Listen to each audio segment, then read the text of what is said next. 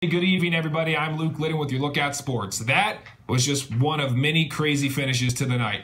But first, we start with the UTEP Miners. A moment for fans and players alike to pay tribute to one of the greatest college basketball teams in NCAA history. Today marked the team. Today, the team celebrated the 50th anniversary of the 1966 Texas Western team clinching the national title. Let's now go ahead and send it to ABC7 Sports Director Danny Mata, who was at the game all afternoon. And Danny, quite the sight to see that historic team in person, huh? Uh, yeah, Luke, it really was an emotional game for the Miners, and really was one they needed. They came in just four and six in conference play, and quite frankly, you can't lose today. I mean, right? It's the 50th anniversary game. Well, let's go to the Don Haskins Center, and there is the team at center court. Tim Floyd there with Mary Haskins early on. Earvin Morris on the break with the big time jam and the Miners hanging around early, but Western Kentucky did not like being treated like the homecoming team. They came to play off the miss. Frederick Edmond comes back with a bucket and the foul. Western Kentucky leads by nine at the break. Second half, it gets worse. Edmond, this time from beyond the arc, Miners would trail by as many as 19 points. But then Lee Moore and the rest of the team decided, all right, that's about enough of this nonsense. Moore for three, money. And then Moore, well, he wasn't done. Scoreless at the half. 23 in the second half. Another three here. Miners down 11. Then here, major turning point. Moore with the steal. Ahead to Earvin Morris, who opens up the can of slam. Miners down four. Less than 30 seconds left. Moore inside. Layup and one. His free throw ties it, and we go to overtime. In overtime, Omega Harris gets the steal. Ahead to Dominic Artis. Back to Earvin Morris for the two-hand stuff. Miners by three. Then Moore strikes again. Look at him draw the contact and hits a tough shot with a friendly roll. And now it's Morris's turn. Into the paint with a turnaround.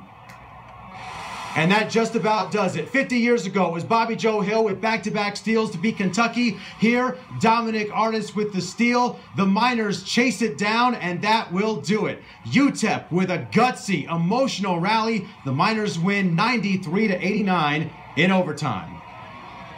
And then I think these kids, more importantly, which is what it's all about, are going to remember this game for the rest of their lives and remember why it was important and tell their kids why it was important. I not not trying to be selfish or anything, but I when uh, we got the steal and I got the, the first dunk when I, I tipped it back, Lee got it, Lee gave it back to me, and I dunked it. I really felt like that that, that was the turning point for me personally. But I, I felt I, the whole game, I really felt like we had a chance. We was gonna always come back and get the game. I, I really can't really put it into words. Just everything they did yesterday with the banquet and, and, really let us know the meaning of it. Um, uh, it was it's real special. It was a real surreal moment. So, Luke, an extraordinary game. I, mean, I think a lot of people thought that game might be over when the Miners were down by 19, but an emotional rally. You could see the 1966 team talking to Tim Floyd and what it meant to him. And he said earlier this week it might be the final time that they're all together. So, truly a remarkable game, and this will definitely be one to, re to remember. The celebration continues in El Paso at the Haskins Center. There's our halftime score. Western Kentucky with a nine point lead. Mark Emmert, the president of the NCAA, was here as well to introduce the members of that 1966 national championship team that vanquished the Kentucky Wildcats. There was also a very special message from a very big basketball fan as well, and that was presented here at the stadium just a few moments ago. By becoming the first team to win an NCAA title with five black starters, the Miners weren't just champs on the court. They helped change the rules of the game off it. They didn't know it at the time, but their contribution to civil rights was as important as any other.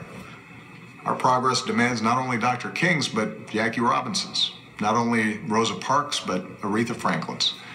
Not only household names, but ordinary Americans doing their part in their own lives with their own example. That's what we honor today.